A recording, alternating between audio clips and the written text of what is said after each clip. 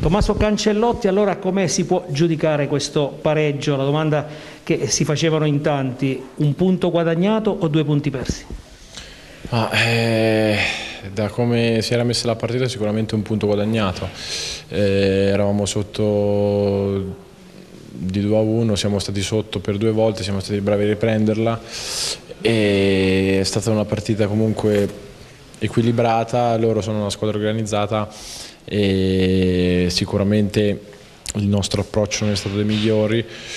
E in settimana mm, sicuramente valuteremo, lavoreremo insieme al mister sulle eh, cose che ci sono da limare. Possiamo dire, Tommaso, che per la prima volta in questa stagione il Pescara è stato un po' in difficoltà al cospetto di un avversario? Eh, sicuramente sono venute fuori alcune difficoltà.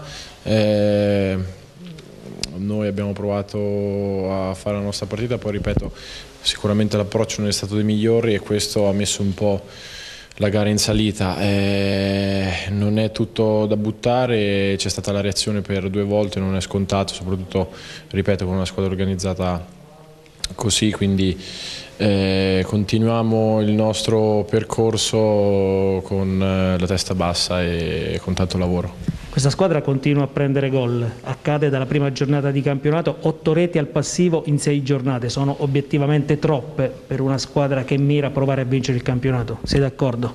Mm, sì, sì, sicuramente eh, come ho già detto bisogna lavorare e limare alcune cose, eh, come ho ripetuto prima ogni campionato a sé, ogni storia a sé.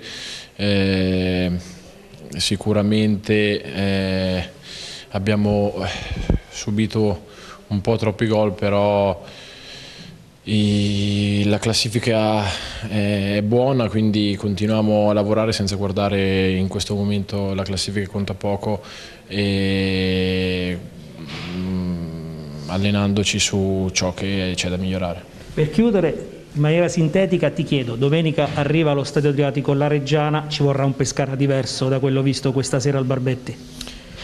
Sì, senza ombra di dubbio, eh, comunque ci saranno eh, delle, delle situazioni che andremo a vedere, ci sarà la partita da preparare, ora ci pensiamo già subito da domani e prepariamo questa partita per eh, riscattare anche magari eh, la prestazione un po' meno brillante rispetto alle altre.